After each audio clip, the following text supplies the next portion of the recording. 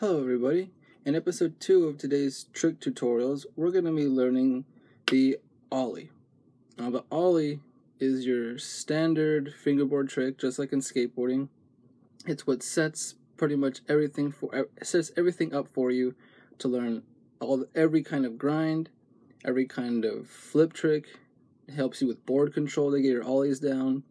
Helps you with transition, believe it or not, to get your ollies down and get board control with your ollies and ollies just help you just take that your fingerboard your beginner fingerboarding if you happen to be a beginner ollies just take your your tricks just one step further and allows you to advance just that, that much further into kickflips and hard flips and 360 kickflips and laser flips and all these other crazy flip tricks all start from the ollie believe it or not.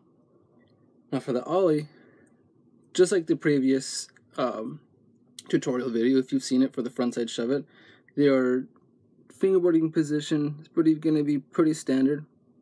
Front finger, can't see it because I've gripped over my bolts, but front finger is going to be on the back back um, back two bolts on your front truck, and your back finger is going to be right at the edge, not on the tip, depending on your preference, but right on the edge of the board, right right on the tail right where it needs to be. When you go when you are setting up for your trick, you want to have your hand in that position.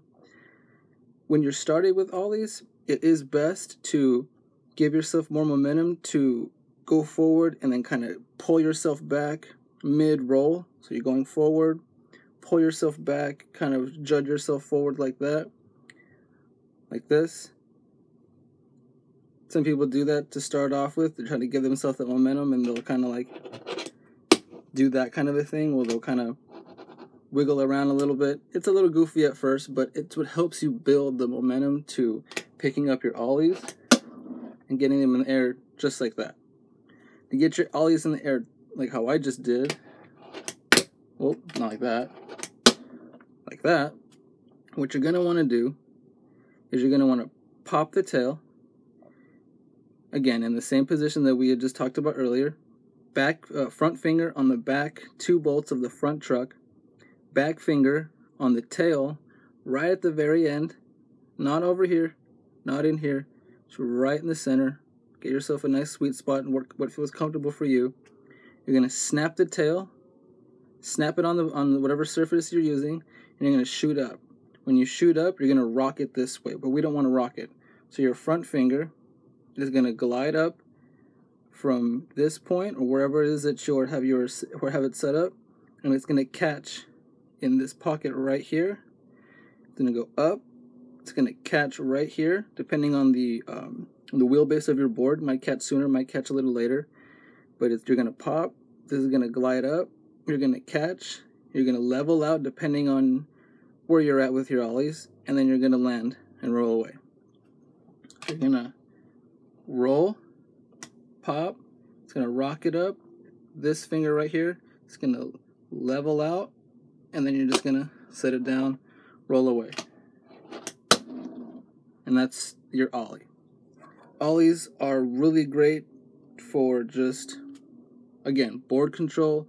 Helps you to do front 180s and all kinds of other ollie variations like like alling like pretty much getting your 180s 180 into grinds like a 180 nose grind or a front 180 switch nose grind fakie flip. It all starts with the ollie with getting your ollies getting your rotations getting your 180s getting all that down.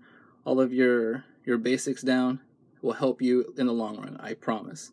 If it wasn't for the basics then we wouldn't have kickflips and we wouldn't have what we have now. So practice those ollies get them down Sometimes it helps to get, uh, see if I can have something on hand. Sometimes it helps to get like video game covers or to get movie covers.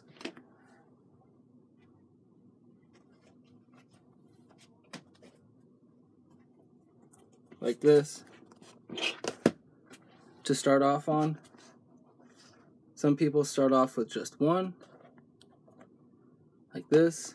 Something just to kind of all the way up on, excuse me, and then eventually you build up to two, eventually build up to three,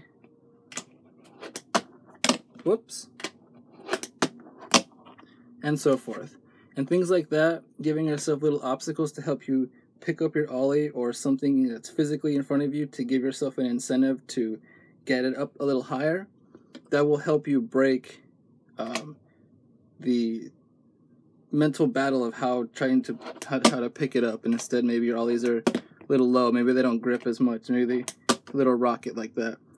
You want to figure that out figure out where your finger placements are and what it is that maybe you're doing right doing wrong. Trial and error and you'll get it. Ollies are a really good trick. I hope this tutorial helped you see how good that trick can be and how well it can be useful in your arsenal of tricks. I hope this helped. I hope you're out there learning ollies and I hope that they're treating you very well. Till the next video, we'll be talking about kickflips, just the next step for the ollie. Uh, that'll be exciting. So hopefully you guys enjoy this video and the next ones to come. Peace out.